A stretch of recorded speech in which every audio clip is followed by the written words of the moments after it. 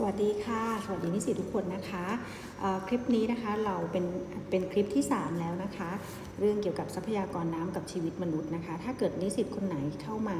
แล้วก็มาเจอคลิปนี้ก่อนเลย โดยที่ยังไม่ได้ดูคลิป 1 คลิป 2 นะคะ ให้ย้อนกลับไปดู 1 2 ก่อนนะคะ อเคค่ะสำหรับคนที่ดู 1 2 มาแล้วเราเริ่มต่อกันเลยนะคะ ในคลิป 1 คลิป2นะคะเราพูดถึงทรัพยากรน้ำนะคะของประเทศไทย มีน้ำฝนนะคะ อันที่ 2 มีน้ำท่าแล้วก็น้ำบาดาลนะเราจะเริ่มน้ำท่ากันเลยนะคะ แหล่งน้ำท่าตามธรรมชาตินะคำว่าน้ำท่าบางคนคุ้นคำนี้ บางคนไม่คุ้นคำนี้นะคะน้ำท่านะคะหรือว่าสตรีมโฟนะคะคือน้ำที่ไหลในแม่น้ำลำธารค่ะ เกิดจากน้ำฝนที่ตกลงมาในพื้นที่รับน้ำนะคะ พื้นที่รับน้ำหรือว่าลุ่มน้ำนั่นเองนะคะ แล้วก็ไหลลงสู่แม่น้ำลำธารกลายเป็นน้ำท่านะคะ มันเกิดขึ้นได้ยังไงน้ำท่าเนี่ยนะคะ ประกอบไปด้วยน้ำทั้งหมดสี่แหล่งที่มาของน้ำท่าแล้วกันนะคะ มีทั้งหมด 4 4 แหล่งด้วยกันนะคะ แหล่งแรกก็คือน้ำที่ฝนที่ตกลงมาโดยตรงในลำน้ำเลยนะคะ ฝนตกลงมานะคะ ตกลงมาสู่แม่น้ำลำคลองโดยตรงเลยทำให้ระดับในปริมาณน้ำในแม่น้ำลำคลองเนี่ยเพิ่มมากขึ้น อันนี้ก็เป็นแหล่งน้ำท่านะคะ อันที่สองค่ะน้ำผิวดินเกิดจากฝนที่ตกลงมาบริเวณผิวดินค่ะนะคะ แล้วก็ไม่เหลือจากการไหลซึมลงในใต้ดินนะคะ บังเอิญเป็นพื้นที่ที่มีความลาดชันเนาะน้ำก็จะไหลบ่าผิวหน้าดินค่ะ ลงมารวมกันในแม่น้ำลำคลองนะคะ อันนี้ก็จะเป็นส่วนหนึ่งที่ทำให้น้ำท่าในแม่น้ำลำคลองเพิ่มมากขึ้นนะคะ ส่วนที่ 3 ค่ะ คือน้ำใต้ผิวดินค่ะ คือน้ำที่ฝนที่ตกลงมาที่ดินเนี่ยแหละนะคะ แล้วก็ซึมลึกลงไปในดินค่ะนะ ในดินก็สามารถอุ้มไว้ได้ แต่แน่นอนว่าถ้าฝนตกลงมาเยอะๆนะคะ ดินก็อุ้มไว้ไม่หมดเนาะนะคะ น้ำในดินก็มีการไหลค่ะ ไหลจากที่สูงลงสู่ที่ต่ำค่ะ แล้วมันไปไหนคะในที่สุดมันก็จะไหลลงสู่แม่น้ำลำคลองนั่นเองนะคะ แหล่งสุดท้ายค่ะคือน้ำใต้ดินนะคะ คือน้ำที่ไหลลึกลงลงไปเลยเขตรากพืชรวมลงไปนะคะ กลายเป็นน้ำบาดาลนะคะ หรือน้ำใต้ดินนั่นเองนะคะ พอมันไหลลงแล้วนะคะ น้ำตามธรรมชาติของน้ำจะมีการไหลอยู่เสมอนะคะ ไหลจากที่สูงลงสู่ที่ต่ำค่ะ มันก็จะไหลเข้าสู่แม่น้ำลำคลองนะคะ น้ำทั้งหมดนี้นะคะ เรารวมกันเรียกว่าน้ำท่านะคะอะทีนี้เรามาดูคำว่าลุ่มน้ำนะคะ เมื่อกี้อาจารย์บอกว่าน้ำท่านะ เกิดจากฝนที่ตกลงมาใน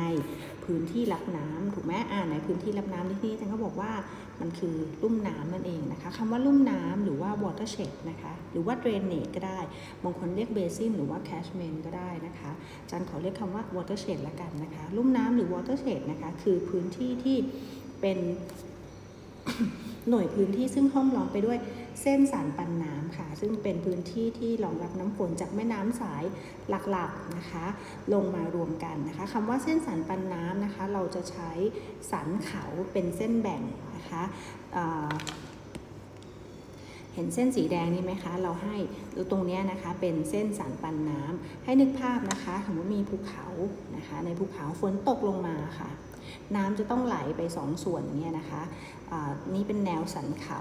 นะคะน้ำก็จะต้องไหลไปไม่ซ้ายก็ขวาถูกไหมคะ ตรงนี้เราจึงใช้เส้นสันเขาเป็นเส้นแบ่งลุ่มน้ำหรือว่าเส้นสันปันน้ำนั่นเองนะคะ ซึ่งพอน้ำไหลลงมาจากแหล่งน้ำจากจากภูเขานะคะลงมาใน ไหลบ่าผิวหน้าดินไหลรวมกันเป็นลำธารเล็กๆนะคะ หลังจากลำธารเล็ก ๆ ก็กลายเป็นลำธารสายใหญ่ขึ้น รวมกันเป็นแม่น้ำสายเล็ก แล้วก็รวมกันเป็นแม่น้ำสายใหญ่ขึ้นนะคะ พื้นที่ทั้งหมดเนี้ยนะคะในเส้นสีแดงเราเรียกว่าลุ่มน้ำนั่นเองนะคะอันนี้เป็นภาพตัวอย่างลุ่มน้ำน่านนะคะ จะเห็นได้ว่าอันนี้เป็นภาพแผนที่ลักษณะภูมิประเทศเนาะะสีน้ำตาลตรงนี้นะคะ ก็คือมีความสูงชันเนาะถ้าเป็นสีอ่อนๆแบบนี้นะคะ สีเขียวก็จะ เป็นแสดงให้เห็นถึงเป็นพื้นที่ที่ค่อนข้างเป็นที่ราบต่ำนะคะ แล้วก็เราก็จะเห็นเส้นแม่น้ำนะคะแม่น้ำเกือบทุกสายนะคะไหลจากภูเขาลงมาเนี่ยรวมกันมา เพราะว่าน้ำไหลจากที่สูงลงสู่ที่ต่ำนะคะ รวมออกมาอย่างนี้นะคะอ่าในนี้เป็นละโดยแต่ละลุ่มน้ำนะคะ จะถูกแบ่งด้วยเส้นสันปันน้ำหรือเส้นสันเขานะคะ จะเห็นได้ว่าขอบๆเนี่ยจะเป็นพื้นที่สูงลาดชันนะคะ สำหรับพื้นที่ด้านข้างตรงนี้นะคะก็อาจจะมีอีกลุ่มน้ำหนึ่งที่ติดกันก็ได้นะคะ ซึ่งลุ่มน้ำหลักของประเทศไทยนะคะ ประเทศไทยแบ่งทั้งหมดเป็น 22 ลุ่มน้ำหลักสายหลักนะคะ สมัยก่อนนะเราแบ่งลุ่มน้ำทั้งหมดเป็น 25 ลุ่มน้ำแต่ว่ามีการจัดสมัยเพื่อการง่ายในการบริหารจัดการนะคะ ก็แบ่งเป็นเหลือ 22 ลุ่มน้ำนะคะชื่อ 22 ลุ่มน้ำนะคะ ก็บางคนจำได้ก็ เก่งมากนะคะ แต่ถ้าจำไม่ได้ก็ไม่เป็นไรนะคะ ให้ทราบเป็นข้อมูลนะคะว่าพื้นที่ลุ่มน้ำที่ใหญ่ที่สุดนะสามอันดับแรกของประเทศไทยนะคะ อยู่ภาคตะวันออกเฉียงเหนือทั้งสิ้นเลยนะคะจะเห็นได้ว่าใหญ่ที่สุดเลยลำดับหนึ่งเลยคือลุ่มน้ำมูลนะคะ อยู่ทางภาคตะวันออกเฉียงเหนือหรือภาคอีสานนะคะเส้นขอโทษนะคะอะเลขหมายเลข5นี้นะคะ ลุ่มน้ำมูลนะคะลองลงมาก็คือลุ่มน้ำ โขงตะวันออกเฉียงเหนือนะคะ แล้วก็สุดท้ายคือลุ่มน้ำชีนะคะ สีฟ้าฟ้านะคะลุ่มน้ำที่มีขนาดใหญ่ส่วนใหญ่จะอยู่ในภาคตะวันออกเฉียงเหนือนะคะ เนื่องจากว่าลักษณะภาคตะวันออกเฉียงเหนือเนี่ยเป็นพื้นที่ราบสูงนะคะ มีภูเขานะคะเป็นภูเขาแล้วก็ตรงกลางเป็นที่ราบเขาถึงเรียกว่าที่ราบสูงนั่นเองนะคะ สภาพน้ำท่าของประเทศไทยนะคะ ประเทศไทยเนี่ยอย่างที่แจ้งไปแล้วว่ามีลุ่มน้ำหลักอยู่ 22 ลุ่มน้ำหลักนะคะ โดยมี 353 ลุ่มน้ำสาขานะคะ ซึ่งลุ่มน้ำทั้งหมดเนี่ยนะคะมีปริมาณน้ำฝนประมาณ ปริมาณน้ำฝนที่ได้รับแต่ละปีแต่ละปีทั้งหมดเนี่ยนะคะจะได้รับประมาณ 72,800 ล้านลูกบาศก์เมตรนะคะ แต่ว่า น้ำ 70%ของประมาณ 700,000กว่าลูกบาศก์เมตรเนี่ยนะคะสูญเสียไปจากการซึมลงในดินและเหยสู่บรรยากาศนะคะ ติดค้างลงอยู่ในแอ่งบ้างหนองคลองบึงตามธรรมชาติบ้างนะคะ เหลือที่ใช้ได้นะคะประมาณร้อยละ 30 ของปริมาณน้ำทั้งหมดในลุ่มน้ำนะคะ เป็นน้ำท่าที่ไหลในแม่น้ำลำคลองในแต่ละลุ่มน้ำนะคะ พูดง่ายๆว่า ในแต่ละลุ่มน้ำนะคะ รับน้ำฝนมา 100%นะคะก็มีการสูญเสียไปนะคะ แล้วก็เหลือลุ่มน้ำที่เหลือปริมาณน้ำที่อยู่ในลุ่มน้ำจริงๆประมาณ 30%นะคะซึ่งใน 30%นี้นะคะ ก็แบ่งเป็นปริมาณน้ำท่าที่อยู่ในช่วงฤดูฝนประมาณ 85%นะคะ แล้วก็ท่าตรงนี้คิดเป็น 100%นะคะน้ำท่าทั้งหมดในพื้นที่ลุ่มน้ำนะคะ 100% เป็นปริมาณน้ำท่าที่เกิดขึ้นในฤดูฝนประมาณ 85%ส่วนปริมาณน้ำท่าในฤดูแล้งนะคะ มีเพียงแค่ประมาณ 14%เท่านั้นเองนะคะ ดังนั้นเราจึงต้องมีการบริหารจัดการน้ำนะคะ ในช่วงฤดูฝนให้เป็นอย่างดี เนื่องจากว่าพอหมดฤดูฝนแล้วนะคะ เราจะต้องใช้น้ำที่เหลืออยู่นะคะ ในการบริหารจัดการการแบ่งการใช้ในฤดูแล้งถัดไปด้วยนะคะ อันนี้เป็น ตารางแสดงสถานการณ์น้ำนะคะรวมน้ำในภาพรวมของประเทศนะคะอาจารย์หาจากกองอำนวยการน้ำแห่งชาตินะคะ สรุปณนะวันที่ 25 กรกฎาคมค่ะประมาณ 7 โมงเช้าเลยนะคะ ถ้าใครอยากทราบข้อมูลล่าสุดก็สามารถเข้าไปในเว็บไซต์ของกองอำนวยการน้ำแห่งชาติได้นะคะ จะเห็นว่าแหล่งน้ำทั่วประเทศนะคะ ตารางนี้จะแสดงถึงปริมาณน้ำในแหล่งน้ำทั่วประเทศนะคะ แยกออกเป็นแต่ละภูมิภาคภาคเหนือภาคอีสานภาคกลางตะวันออกตะวันตกแล้วก็ภาคใต้นะคะ อยากให้ดูอันนี้ค่ะ ปริมาณน้ำในแหล่งน้ำทั้งหมดนะคะ ตัวเลขไม่ต้องจำก็ได้ แต่อยากให้สังเกตว่าร้อยละความจุนะคะ ซึ่งในแหล่งน้ำแต่ละภาคนะคะ ในณปัจจุบันตรงนี้นะนะคะ มีน้ำเพียงแค่ประมาณประมาณ 50%ของความจุที่เขาจุได้เท่านั้นเองนะคะ แหล่งน้ำขนาดใหญ่ทั่วประเทศนะคะ มีอยู่ประมาณ 55%สำหรับรวมๆทุกขนาดนะคะ ประมาณ 56 56%ของความจุที่มันจะจุได้ แสดงว่ามันยังได้อีก แต่ว่าเเราไม่มีน้ำขนาดนั้นนะคะ สถานการณ์น้ำท่าในแม่น้ำสายหลักๆ ของในแต่ละภูมิภาคนะคะ ภาพรวมเนี่ย น้ำอยู่ในเกณฑ์น้อยนะคะ น้อยถึงปกติก็คือตกมีนะ่ะประมาณกลางๆ มาค่อนข้างน้อยนะคะ แต่ว่าเรายังโชคดีว่า